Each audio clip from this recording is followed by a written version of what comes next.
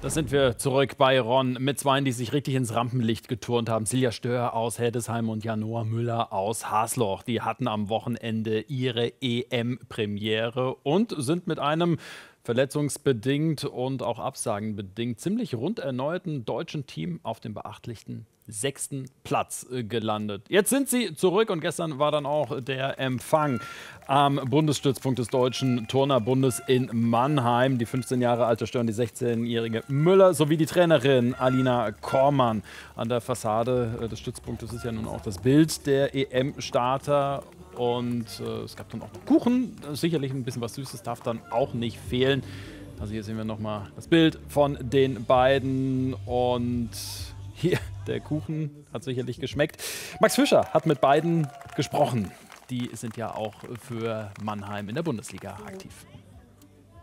Silja Janoa, herzlichen Glückwunsch zur erfolgreichen EM-Premiere. Was war das jetzt gerade eben für ein besonderer Empfang hier am Bundesstützpunkt in Mannheim?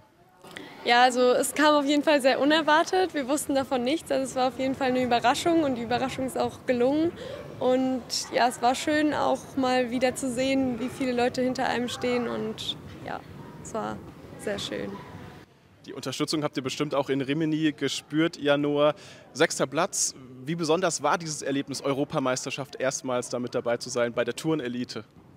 Also es war natürlich eine mega Erfahrung, zur ersten Europameisterschaft zu gehen und dann hatten wir es schon als Ziel gehabt, ins Teamfinale zu kommen, aber haben gesagt, wir versuchen einen guten Wettkampf zu machen und gucken, wie es läuft.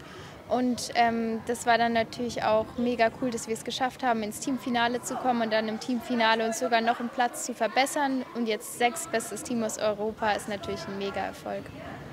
Also ihr seid wunschlos glücklich mit der Platzierung und wie sehr zufrieden seid ihr auch mit eurer eigenen Leistung? Also wir sind sehr zufrieden, weil wir auch noch ein sehr junges Team sind und wir wussten ja von Anfang an, dass wir jetzt nicht zu den Top 3 gehören oder so. Also es war schon gut, wir haben alle unser Programm sehr gut durchgezogen und können da auch alle mit zufrieden sein. Jetzt habt ihr mit gegen die besten Turnerinnen äh, Europas äh, euch duelliert. Gibt es da auch Punkte, wo ihr sagt, okay, da könnte ich mich noch verbessern, da sind die uns schon ein paar Schritte voraus? Natürlich, wenn man die Italiener anguckt oder die Franzosen, haben die noch mal deutlich schwierigere Übungen als wir und touren die aber trotzdem sehr sauber.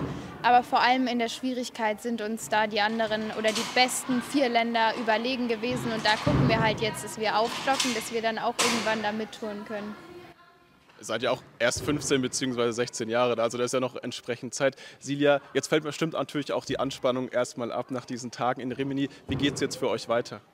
Also wir trainieren jetzt erstmal morgen und übermorgen noch weiter, also Dienstag und Mittwoch. Und dann haben wir aber über das verlängerte Wochenende äh, frei und da haben wir dann auch ein bisschen Erholungszeit, dass wir dann die nächste Woche wieder voll topfit starten können. Und dann steht ja in diesem Jahr noch die Deutsche Meisterschaft im Juni in Frankfurt an. Generell mit welchen Zielen geht ihr jetzt in den restlichen Verlauf des Jahres?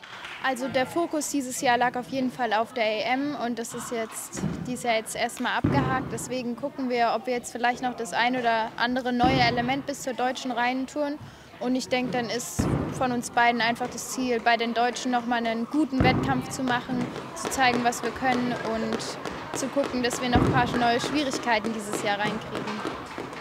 Dann wünschen wir dafür alles Gute und sagen vielen Dank für das Gespräch. Dankeschön.